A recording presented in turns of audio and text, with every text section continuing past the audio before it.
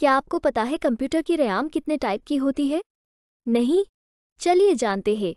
RAM के generation DDR एक D D R दो DDR तीन DDR चार और DDR पाँच ऐसे होते हैं। इनमें डाटा ट्रांसफ़र का रेट अलग अलग होता है जो आपको चार्ट में दिखाई दे रहा है।